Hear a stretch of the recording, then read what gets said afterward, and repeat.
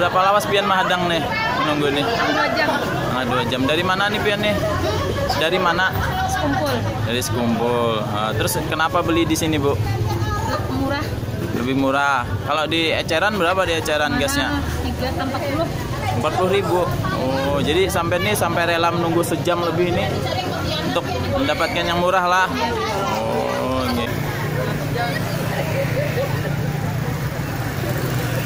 Kenapa terjadi antrian setiap ini? harganya harganya murah Oh, harganya murah gitu lah.